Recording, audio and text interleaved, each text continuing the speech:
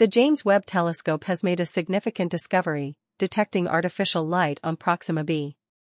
Over the past decade, one of the most thrilling developments in astronomy has been the identification of Proxima b, a potentially life-supporting exoplanet located remarkably close to our solar system. Despite being visually elusive, its existence has been confirmed through gravitational observations on Proxima Centauri, the star it orbits.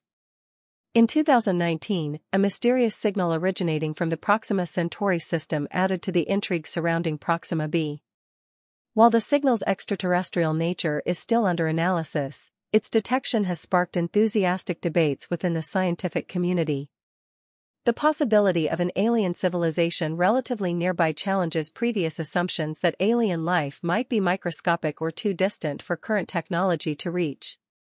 The James Webb Space Telescope, poised for launch, holds the promise of unveiling the mysteries of Proxima b. Scientists believe this cutting-edge telescope could visually confirm the exoplanet's existence and potentially detect artificial lights on its surface.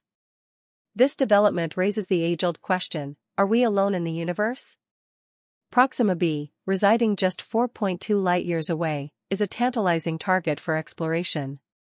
Positioned in the habitable zone of Proxima Centauri, it holds the potential for liquid water on its surface, a key ingredient for life as we know it.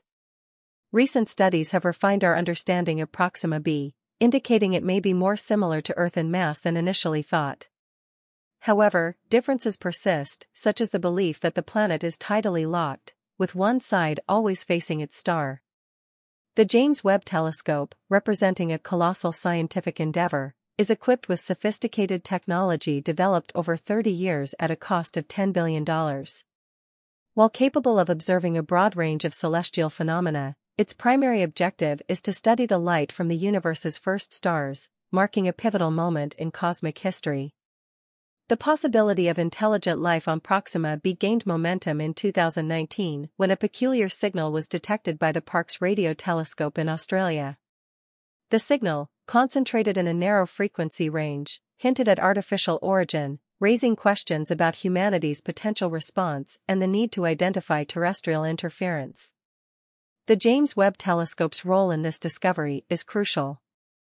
Observing Proxima b at an intimate level, it may provide answers to questions about the signal's origin and the presence of artificial lights on the exoplanet's dark side.